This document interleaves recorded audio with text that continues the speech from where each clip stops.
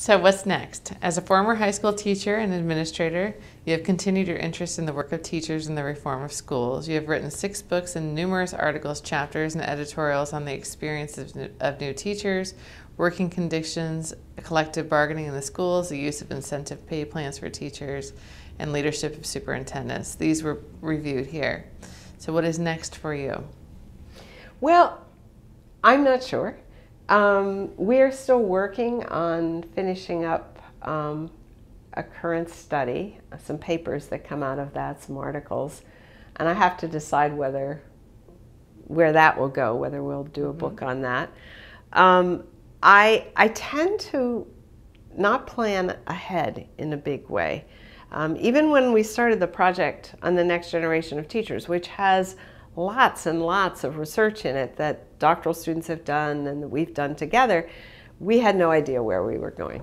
Um, I think that uh, one thing I, I want to do next year, I'm, I'll be on leave next year, and one thing I want to do is do more synthesis of what's known about these issues. There's been a great deal of research since 2000 about sure. teacher quality. I mean, it, sure. the idea of teacher quality was just you know, seldom mentioned before that in a in research um, circles. So um, I, I, have been talking to a few people about thinking about how we might pull together what what do we know, what do we not know, mm-hmm. because there are a lot of um, younger faculty members and doctoral students who want to you know contribute to this field but sometimes they choose a random topic that's not really connected or about which there's not much um, i don't know it's not con- uh, it, it's not something that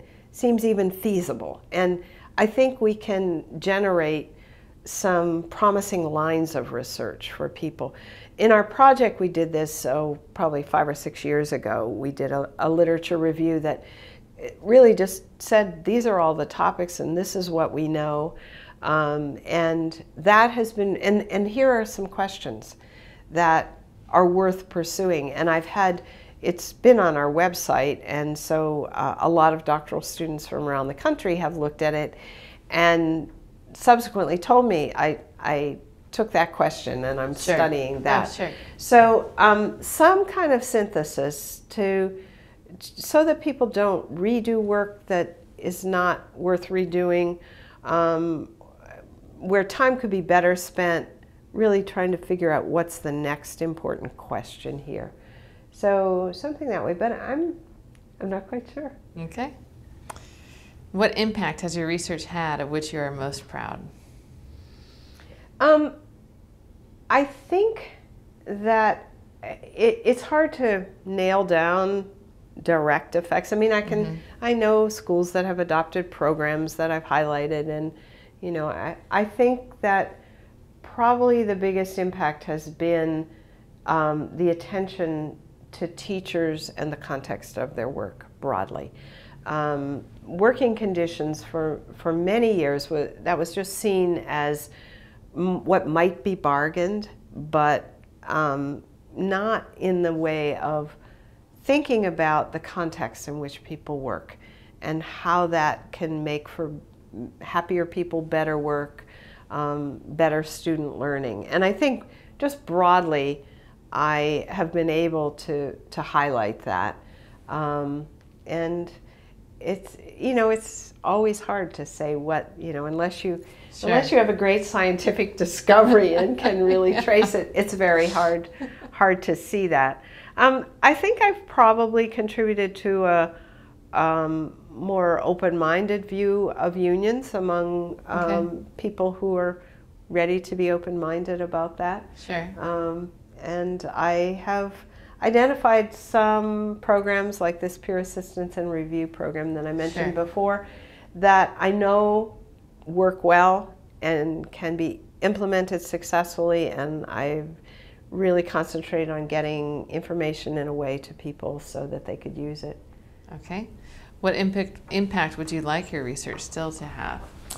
Um, I think, and I don't think my research alone can have such an impact, but I hope it will contribute uh, contribute to um, creating more differentiated career path for teachers um, where people, you know, I, I think it's unrealistic to expect teachers to remain in the classroom for 30 years. It's, we live in a different world. Sure. Uh, schools have to respond to that by having some people who become really the expert long-term teachers in a school who have responsibility um, for curriculum and instruction uh, in addition to a principal, but that there's more academic leadership in the okay. school. And, um, and I, I think that that has to happen um, both school by school by individuals doing it, but also through policy, through creating um, real job descriptions and, and requirements and assessments that give it credibility and give it some permanence. Um, and that, uh, I don't think we're ever going to revert in public schools to the old kind of one teacher for as many years as you stay. I think, I think we can't do it. Either the, the schools will just continue to to fail. Yeah, old school for yeah, lack of a better term. Yeah, definitely old school. Okay, here's a set of introspective questions that we have. Okay. First one, who do you believe has had the greatest impact on you and the person and scholar you have become today?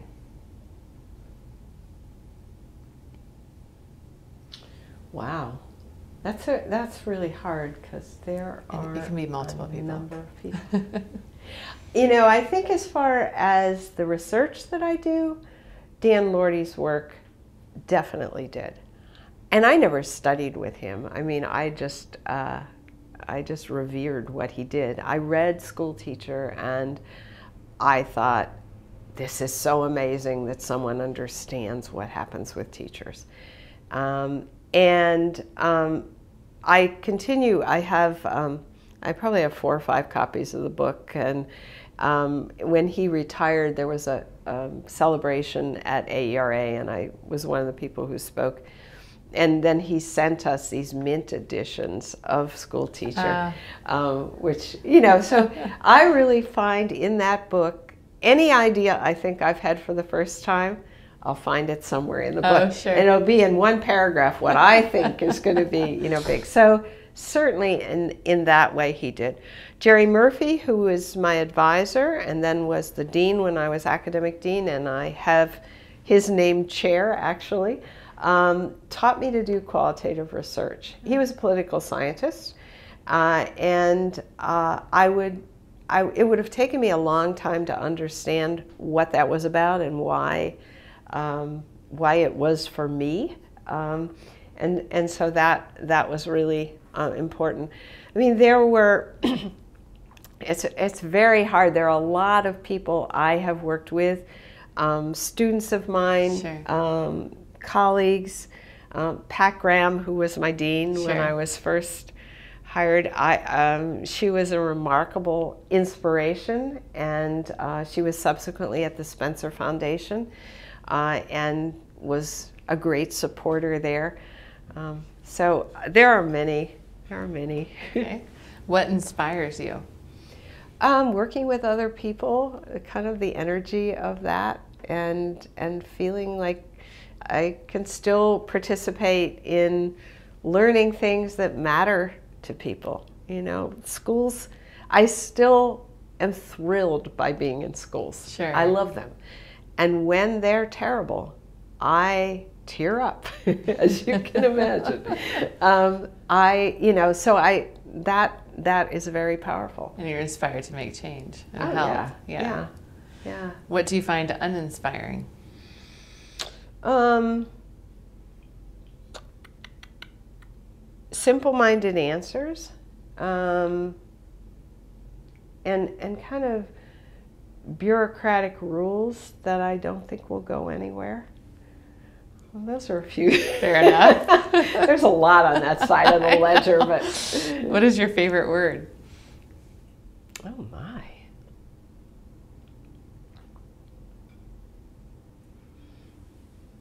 I'm not sure I have one. I mean, there are words that entertain me, but I don't know whether I have a. I, I can't think of one. Okay. What's your favorite curse word? Oh, I couldn't say. Okay. what profession other than your own would you have liked to attempt? You know, I um, I thought at some point after I wasn't teaching that I should have gone to law school. Um, and that was when I saw that women were being recruited to law schools and that it really was an option. And there is a kind of, I, I like logic. I, I like oral argument kind of thing. Mm-hmm. Um, I like the side of collective bargaining that has to do with arbitration and, you know, the, the statutes that control it. But I actually think I wouldn't have enjoyed it. Um, I, the, I, I would have enjoyed studying it but maybe you know public interest law in some way would have interested me. My brother was a an educator uh, and he was an advocate, um, and he was a very intense, confrontational, um, challenging person, and he accomplished a whole lot doing it. Mm. Um, but it became clear to me that that my best mode of operating is not that. Um, it actually is about engaging people in kind of the most promising things that are possible. I think I do better at that.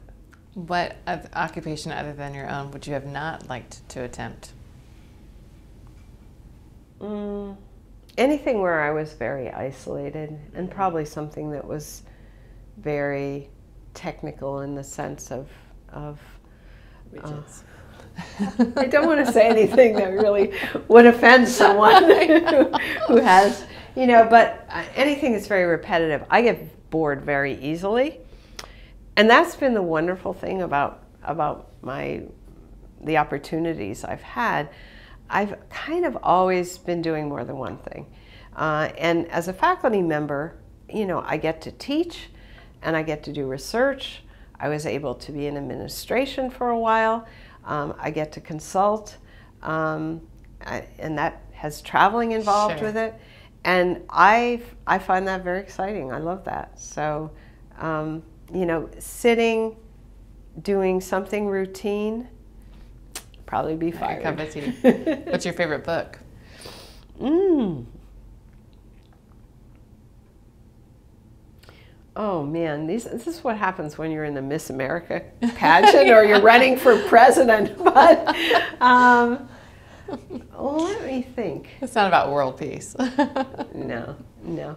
Um, it's probably not about education. Um, in that that always feels, sure. you know, a bit like work. Yeah. I don't. I don't know. I've read a lot of fiction, and I enjoy it immensely. Um, and I like poetry. Sure. Um, I don't, I, I don't, I don't want to give you one title because then I'll think that's, that's fine. not the right one. If you could tell President Obama one thing, what would it be? Hmm. Well, in education, I think it would be don't put too much stock in value add mm. and this idea of finding the perfect teacher and relying really more on these um, these sort of the ideal teacher kind of piece as opposed to building a school. Um, and, and I think, you know, I think that we are getting a lot of that right now. Uh, and the Department of Education is promoting it, and, mm-hmm. and that has to be with President Obama's support. Mm-hmm. I mean, in general, I'm, you know, an ardent supporter of President Obama. Mm-hmm. Um, but I, I think the problems with schooling are, are really complex, and that when we look for a simple solution that can be applied everywhere, it's probably, you know, probably not right. I was very happy to hear him um, speak out about gun violence and about um, preschool education. Sure. Mm-hmm. Um, and so I totally support those those kinds of initiatives. Um, but I but I do think we ought to not imagine that uh, we can find a simple technical solution to what are essentially big social problems in our country. Which contradicts everything that you've done in your research. Yeah. Is what how educational federal educational policy Yeah. And then the state policies trickling down from Yeah, there, yeah. contradictory. I mean, one of the nice things about Massachusetts is that we've had some very enlightened leadership on education, and um, although we have had a, a state test um, that is a challenging one, the MCAS, um, it has been used very thoughtfully, and I think most teachers in the state would say it's a pretty good exam. Um, so I, I think you know I, I we have kind of pushed back on uh, our new teacher evaluation law, which um, you know is a year and a half old now, uh, does not include using student achievement as a particular percentage of a teacher's evaluation. And I, you know, I was involved in that process and know what thought went into that. And other legislatures have really been um, convinced somehow that you can use those data to, um, you know, to decide 50%, 40% of a teacher's evaluations. That's crazy. yeah. So, And in some um, cases, trump the other measures. yeah. So it's yeah. 100%. yeah. Well, and especially if the other measures are are you know haphazardly done, which Yeah. they often are. yeah. You know. Yeah. So. If you could have dinner with anybody, dead or alive, who would it be and why? Oh, probably my mom. Yeah. you don't want to get me started. yeah. okay. I have a lot of questions for her. Uh, yeah. Yeah. Finally, what advice might you offer to graduate students and beginning researchers who hope to make a contribution like you to education, educational research? You know, I was I was very lucky because I could pretty much decide what I wanted to work on, and um, you know, it there wasn't. I had to publish, but there weren't these kind of um, you know very rigid expectations about what journals and what kind of article and what kind of methods and um, and I have really been able to do the work that I wanted to do and I think um, m- my daughter's graduating Yeah. you know in a couple years and um, she would like to be an academic and I I do look at the way the job is organized now the pressure the number of people who actually become adjunct faculty members because they love it, but they have no time to do research. Um, and so I, I actually talk with students a lot about this who are trying to figure out what they want to do and, and tell them to think very carefully about what makes them happy day to day. Because sometimes it's people who suffered writing their dissertations. You know, really, they found it interesting, but they were miserable during the Right. time. Well, that's at least a third of your work is about that kind of work. So you want you want to think about it.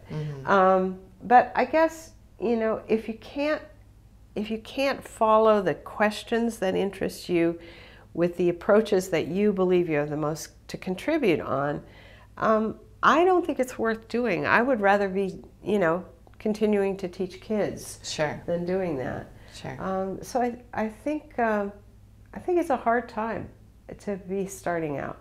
On the other hand, it just as we've had this massive turnover in the teaching force with uh, you know my generation retiring, that's happening now at, at higher education. So we also have had this kind of bimodal distribution of, of faculty members, and many of us, um, you know, are in the pre-retirement or semi-retirement mode.